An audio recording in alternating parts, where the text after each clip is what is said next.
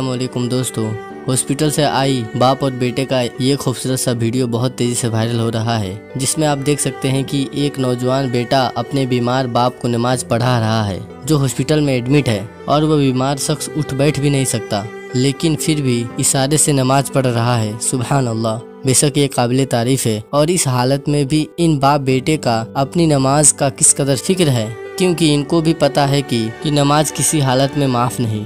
और हम सब जानते हैं कि जमात की नमाज़ का सवाब अकेले की नमाज़ से ज़्यादा है। तो ये बाप बेटे जमात से नमाज़ पढ़ रहे हैं। लेकिन आज हम मुसलमानों का ये हाल है कि अजान हो रही होती है और हम चौक चौराहे पर बैठे बातें कर रहे होते हैं। और नमाज़ का वक्त जाता रहता है और हमें उसकी कोई फ़िक्र नहीं होती। दोस्तों, हमें याद रखना चाहिए कि मरने के बाद सबसे पहले नमाज़ का हिसाब होगा। अगर नमाज़ अच्छी हुई तो बाकी अमाल भी अच्छे होंगे, और अगर नमाज़ खराब हुई तो बाकी अमाल भी खराब होंगे। दोस्तों, हमें इन बाप बेटे के अमल से इबरत हासिल करना चाहिए कि किस तरह ये बाप अपने बेटे की इमामत में इस हालत में अपनी नमाज़ पढ़ रहा है। सुबह अल्लाह ऐसे लोग ही जन्नत के हकदार हैं। दोस्तों, अल्लाह से दुआ है कि अल्लाह हर मुसलमानों को हर हालत में नमाज़ पढ़ने की तौफीक